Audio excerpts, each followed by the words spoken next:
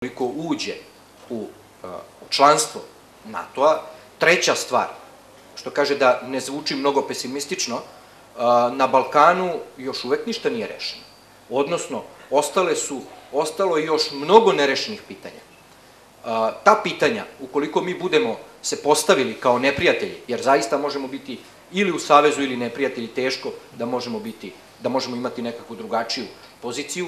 Ako se budemo postavili kao neprijatelji, ta će se pitanja, bojim se, rešavati ponovo na štetu Srba i ponovo na štetu srpskih nacionalnih interesa. Dakle, tu je pitanje budućnosti Kosova i Metohije, tu je pitanje Bosne i Hercegovine, to će se pitanje i kako otvoriti, pitanje Republike Srpske. Dakle, članstvo Srbije u NATO, u NATO-u, kažu u NATO paktu, je dobar mehanizam da buduća otvorena pitanja na Balkanu odnosno ona koja sada postoje, ali kada se budu otvorila, budu rešavana kroz konsultacije, kroz dijalog, kroz dogovor, da bi se izbegli novi oružani sukobi, da bi se izbegle nove katastrofe. Uzmite Grčku i Tursku. Ja tvrdim da nisu obe zemlje bile članice NATO-a od drugog svetskog rata na ovamo, da bismo u nekoliko navrata imali vrlo krvave sukobe između te dve države.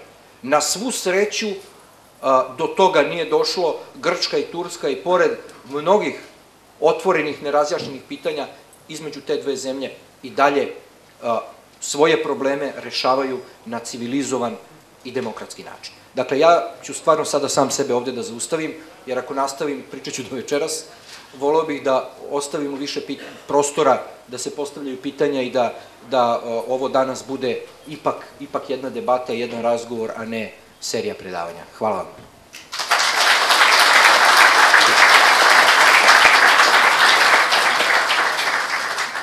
Zahvaljujem se doktoru Dragišiću. Ovim bismo okončali prvi deo naše konferencije. Drugi deo će biti debatni deo u kom ćete i vi moći da uzmete učešće diskusijom ili pitanjem našim sagovornicima.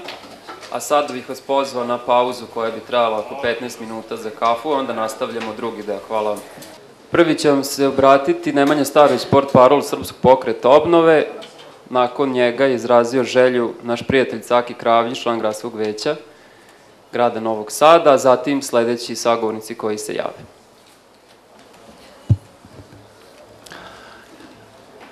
Dear friends, it is such an honor to welcome you here, not just in this beautiful city of Novi Sad, but in these very chambers in, in which I perform my duties as a member of City Parliament of Novi Sad. I would I'll try to add on to this, to this debate by introducing uh, two concepts which might be used in the discussion about Euro-Atlantic integrations of Serbia. First concept is concept of identity, and second is concept of values. And please don't hold it against me for continuing this speech in Serbian language. Dame i gospodo, kao, kao istoričar, što sam po struci, ali i kao neko ko je odrastao u Srbiji tokom 90. godina, postavio bih na početku svog izlaganja problem identiteta.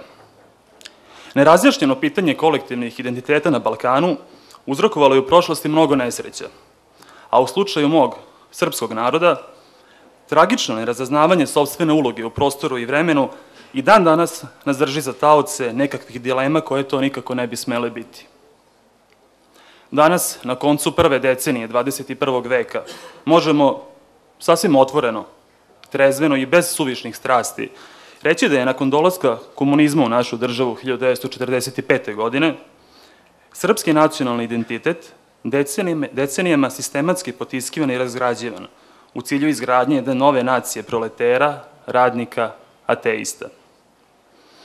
Represivne metode koje su pritom korišćene vratile su se docenije kao bumerang i nakon pada Berlinskog zida nacionalni pokreti Jugoslaviji dobili su neslućeni zamah. Ali za razliku od naroda sa istoka Evrope, koji su sa odlaskom sovjetskih tenkova sa lakoćom zbacili sa sebe breme komunizma i nastavili svoj društveni istorijski razvoj sa tačno istog onog mesta gde je on bio prekinut pre pola veka, u Srbiji se dogodilo nešto bitno drugačije.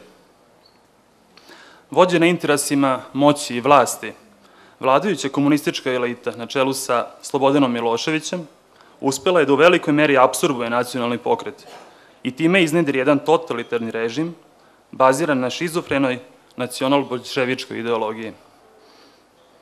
To je režim na koji neću področiti više ni jednu jedinu reč. Međutim, sva tragika današnje Srbije počeva u tome što temeljan raskid sa tim nakaradnim režimom nikada nije sproveden, verovatno zbog visoke političke cene koje bi nosio sa sobom oličena u nekim hiljadama glasova birača. Time je nacionalni identitet ostao zarobljen u raljama laži i neistina.